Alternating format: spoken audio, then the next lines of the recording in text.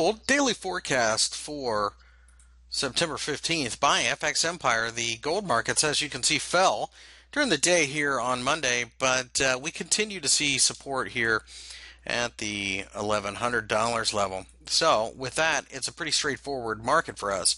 If we break below 1100, we're sellers. If we rally, uh, we could take uh, short term pullbacks as buying opportunities, but we would stress short term being the case.